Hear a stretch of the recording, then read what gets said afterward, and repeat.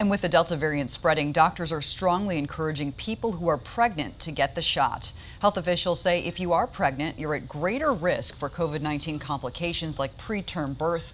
But pregnancy vaccination rates are some of the lowest. Meriter Hospital's infection prevention nurse Beth Borkowski is both pregnant and vaccinated and encourages others to follow in her footsteps.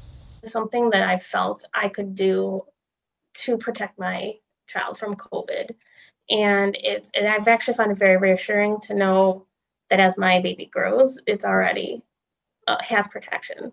It, it was something simple I could do as a mom. Health officials recommend talking to your obstetrician about your options.